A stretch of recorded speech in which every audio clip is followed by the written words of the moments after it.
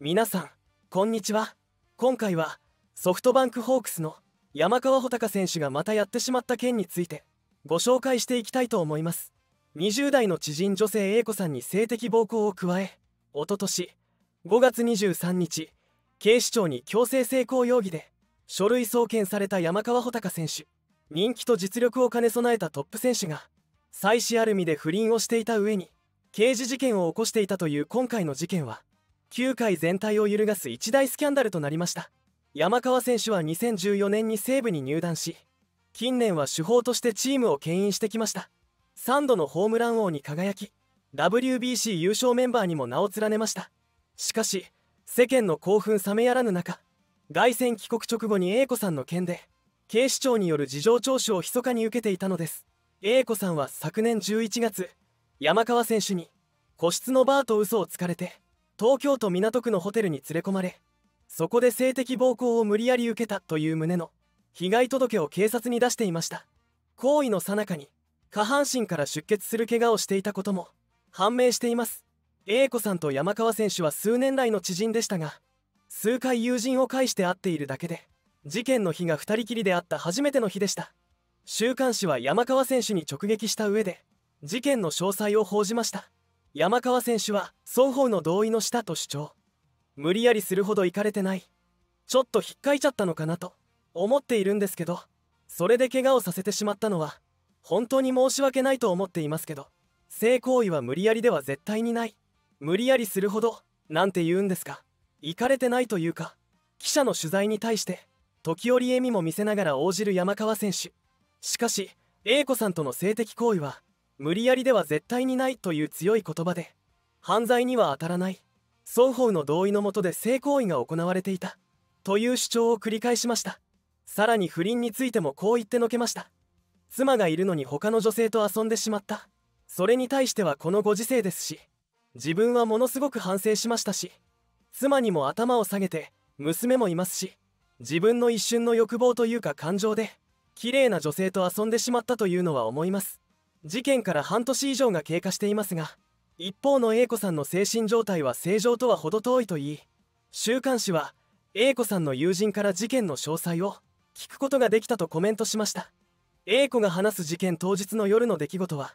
言葉にするのがはばかられるほどひどいものです。特に山川さんの G 行為を見せつけられたことがショックだったようで未だにトラウマのようになっています。大勢の男性に囲まれる状態が怖く電車にも乗れずに精神科のカウンセリングに現在も通っています。あとこれだけは声を大にして言いたいのですが山川さんをはめた筒持たせじゃないかというインターネット上の書き込みによって A 子さんはさらに精神的にダメージを受けています。5月24日の夕刊に強制性交容疑どうなる西部山川穂高契約解除の可能性も被害女性側が示談金1億円要求か Q&A で解説。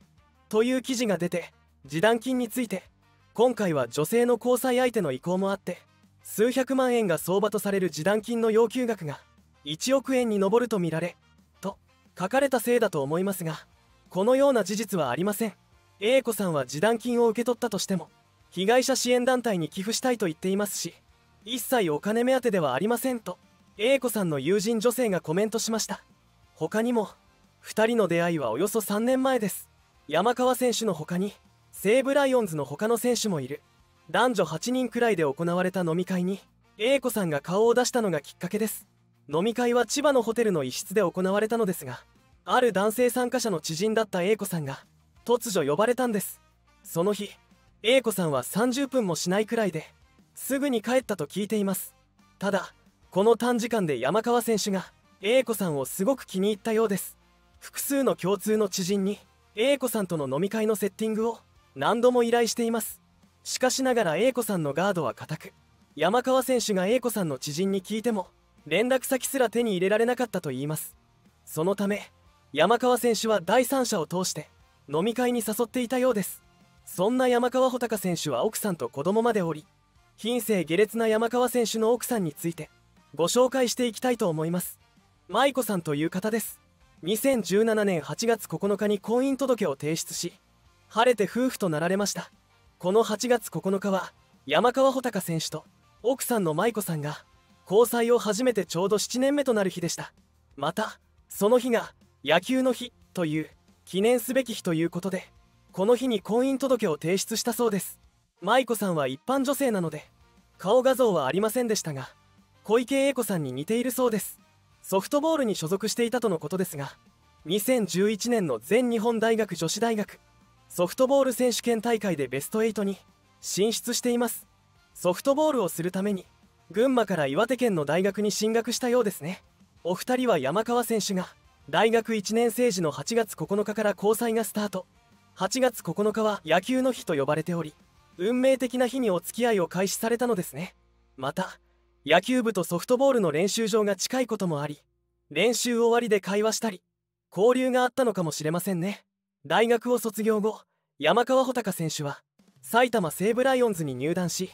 2人は2017年6月から都内で同棲を開始。その後7年間の交際を得て2017年8月9日の野球の日に婚姻届を提出しました。挙式の後にはピアノが得意だという山川選手が白いグランドピアノで数曲サプライズで演奏し親族が見守る中華やかな挙式が行われました。山川選手はルーキー時代の2014年の合同合宿に愛用の電子ピアノを持ち込んだことでも話題になりました。厳しい練習を乗り切るための必須アイテムも用意しています。大学時代も愛用していた電子ピアノを自室に持ち込む予定でカノンエリーゼのために匠サマーは楽譜を見ないで弾けます。弾くとリラックスできるんですと意外な趣味を披露しました。シーズン前で山川選手も軽く投げているとはいえプロの投げるボールですから相当球は速いはずですが難なく山川選手のボールを取っています。筆者も昔野球をしていましたがプロの投げる球はさすがに取れません。さすが富士大学で全国大会ベスト8まで勝ち進んだ実力者ですね。現在山川穂高選手と奥さん舞子さんの間には1人の子供がいます。2人の子供は女の子で真央ちゃんという名前で2019年5月15日に群馬県内の病院で生まれました。奥さんの実家で出産されたようですね。しかし先日中洲の夜の店が並ぶ通りで山川選手の姿が発見されたそうです。